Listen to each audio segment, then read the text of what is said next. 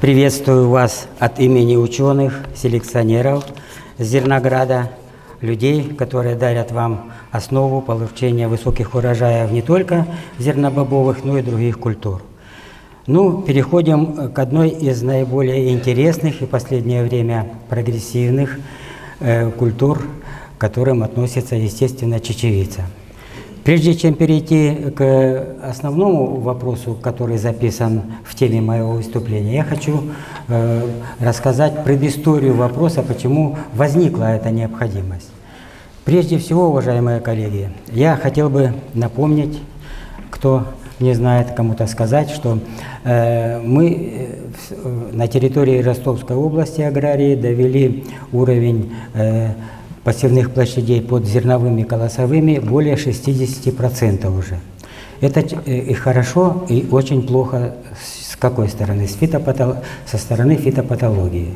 Дело в том, что э, наличие большущего количества э, зерновых в совокупности с кукурузой на зерно создает очень неблагоприятные условия для э, формирования патогенной зоны, в которую попадает после озимой, допустим, пшеницы и наши бобовые культуры, которые, о которых э, сегодня идет речь. Есть еще несколько моментов, на которых хотелось бы обратить ваше внимание, что мы мало того, что плохо анализируем и не своевременно делаем фитоэкспертизу семян, еще и забываем о том, что на растительных остатках, на растительных остатках и в почве огромное количество инфекций. Приведу маленький пример. Мы э, имеем сведения о исследованиях ставропольских моих коллег, которые провели э, оценку распространения, э, распространения мицелия гриба фомопсиса на подсолнечнике. Был заложен специальный опыт такой, и было доказано и получены результаты о том, что эти споры на 12-13 километров распространяются вокруг. Такая же точно тенденция и по другим. О чем это говорит? Это говорит о том, что если у нас на посевах э, нет проблем, то у друзей, в кавычках, соседей эта проблема существует, у вас тогда никакой э, уверенности нет, что эти проблемы возникнут, не возникнут и у вас. Что еще хотелось сказать? Что самым большим э, камнем преткновения для выращивания культуры чечевицы в прошлом году, э, как ни парадоксально, оказались метеорологические условия. Вы помните, что и в процессе перед цветением, и во время цветения, и созревания бесконечно шли дожди. Мало того, что растения э, неблагоприятно перенесли эти условия, к тому же еще и последующий период резкой засухи способствовал формированию неблагоприятных условий для оздоровления. Э, массивы у некоторых семеноводческих посевов были э, полегшими, а у некоторых даже частично и погибли. В этой связи мы, проведя исследование вот буквально две недели назад, определили, что э, на семенах большинстве э, семенных партий, которые присутствуют, присутствуют как прикорневые, так и корневые гнили и другие возбудители. Если вы помните, я в прошлом, позапрошлом году, выступая перед вами, говорил, что ни о каком протравливании семян не может быть и речи, то я в этом году по результатам исследований хочу вас предупредить, что ни в коем случае нельзя высевать непротравленные семена чечевицы.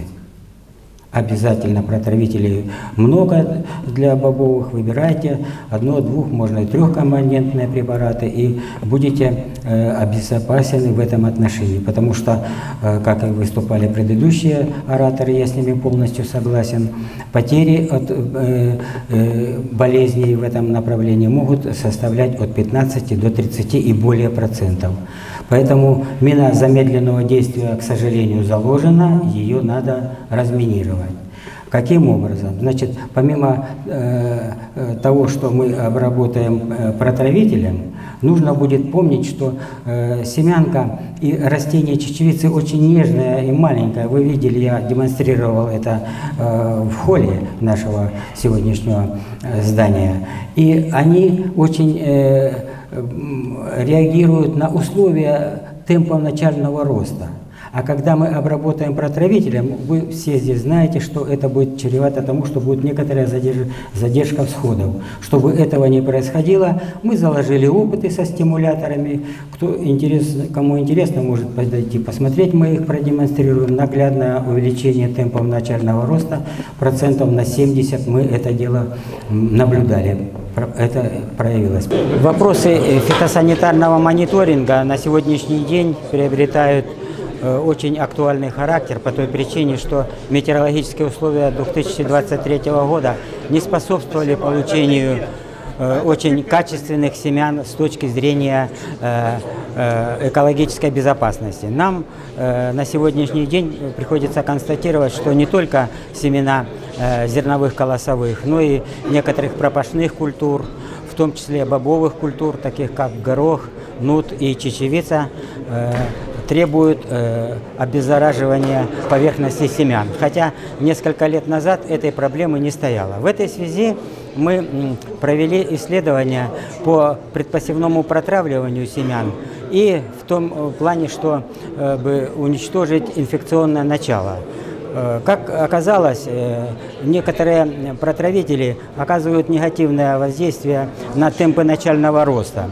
Чтобы избавиться от этой проблемы, мы дополнительно к протравителям изучили и провели опыты э, экологически безопасные стимуляторы роста, которые мы сегодня, о которых мы будем говорить сегодня с трибуны, и они дали очень хорошие положительные результаты. В частности, э, препарат, который э, производится на Ставрополе, Экобао, а в большей степени очень хорошие результаты получились при закладке опытов Коубдона, который э, позволяет порядка в два, а то и в два с половиной раза повысить темпы начального роста по сравнению с контролем, где мы обрабатывали обыкновенно дистиллированной водой. В этой связи хотелось бы обратить внимание сельхозтоваропроизводителей, что э, нужно будет использовать их как можно более широком объеме э, при посеве чечевицы, в частности, в 2024 году.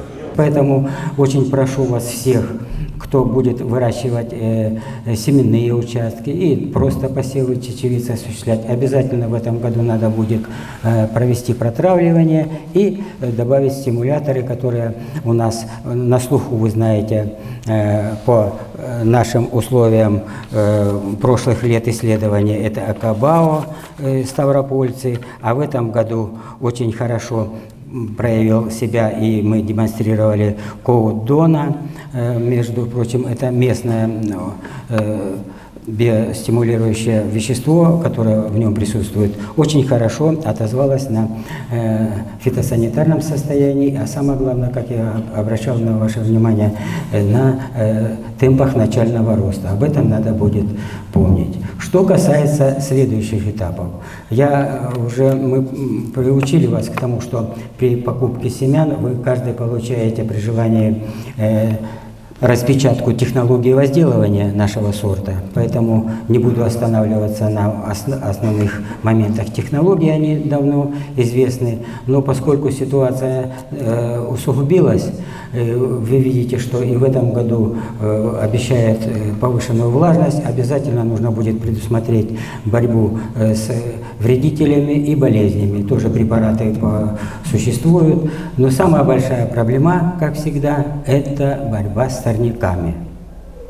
С прошлого года внесен в реестр э, для э, э, злакобобовых э, сорняков препарат Миура. Он хорошо справляется.